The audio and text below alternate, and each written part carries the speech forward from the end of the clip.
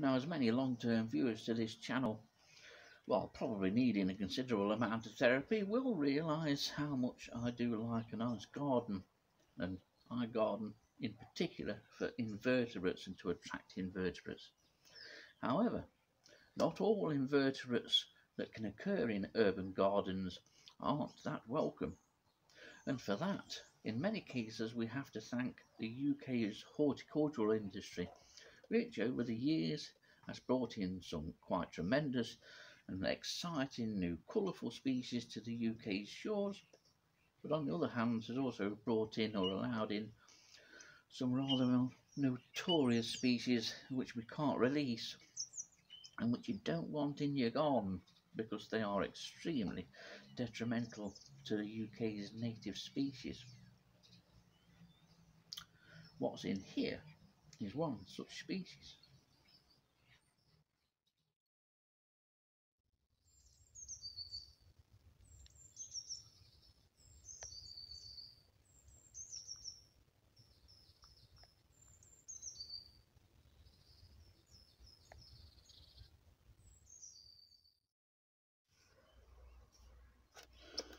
Well, we're at home today for this video, but what I'm going to show you in this video I picked up at a local garden centre yesterday. It was a garden centre at Worksop. I'm not giving the exact garden centre, but the reason that this species is contained is because, as far as I'm aware, it is illegal to release these back into the wild once you've caught them. Saying that, the species is now so common it's widespread across much of the UK, especially in the southwest and northwestern parts of the UK. Here in the East Midlands, it's probably just under recorded, severely under recorded, because few people are actively searching or are interested in this family of invertebrates. Now, what's in here belongs to the family Geoplanidae, which are flatworms. And most of the flatworms that we have here in the UK, and it's not good news, but most of the flatworms we have here in the UK have been imported. And the species in here is a beautiful species but it's an Australian species and most of the flatworms are predatory on UK earthworms.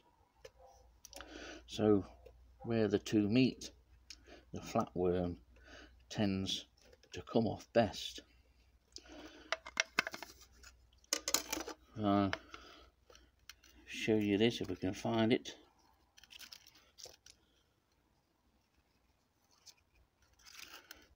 Well be tucked in here.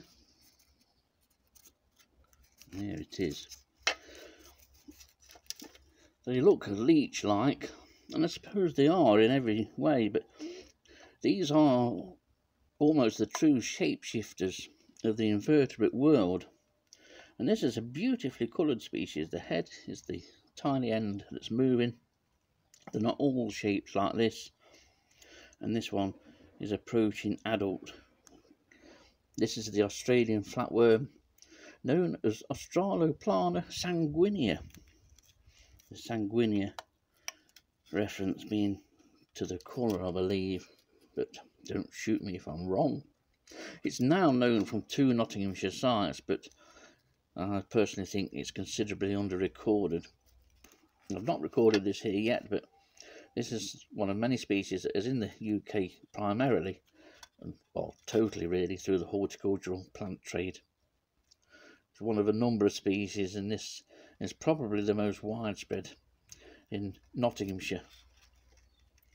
It really is quite a remarkable thing. Flatworms are, they can produce um, eggs, but most of them reproduce by a method called fission. And fission means basically the split. They can split into two or however many sections they want to really. And each section will then grow a new head quite a remarkable process uh, and method of reproduction. Perhaps a good job that humans don't do that.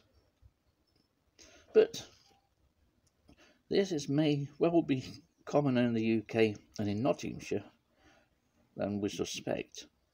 It has to be, it is widespread across the UK. And in Nottinghamshire, there were just two records, although I'm sure many gardeners will have seen this, and I'd certainly welcome any records. So this is a flatworm very much understudied. In fact, I think I'm the only one that's studying them or on the lookout for them actively. Others have been recorded by Tim Sexton, who did some fabulous recording work in the Attenborough Nature Reserve area when he weren't there, but also in his own garden close to the reserve. Now I'll just turn this one partly upside down, it'll soon sort itself out, paler underneath. I'm saying this is from between 2 to 8 centimetres in length. They can shrink down to virtually nothing. It's, they're quite incredible things. When at rest often appear leech-like. No, it's not so leech-like. But two sites for it in Nottinghamshire, say a Worksop garden centre and a back garden in Attenborough village. But there are many records of this species. So that's Australoplana sanguinea, the Australian flatworm.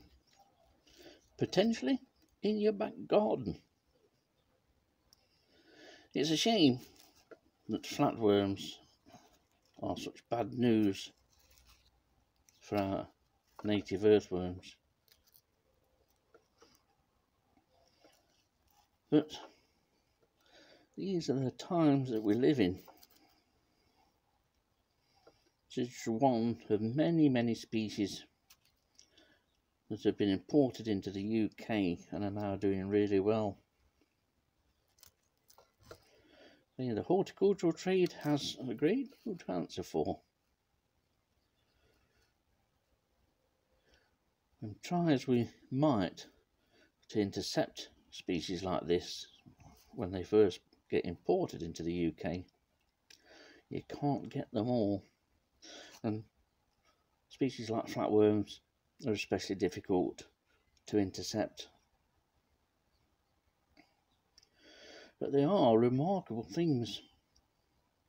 So look out for this when you're pottering around the garden, tending your pots and your tubs. And if you live in Nottinghamshire and you find one of these, let me know. We could do with some more records, although in a strange kind of way.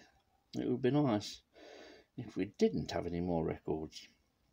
However, this is one of those species that's certainly very much under recorded and is here to stay whether we like it or not.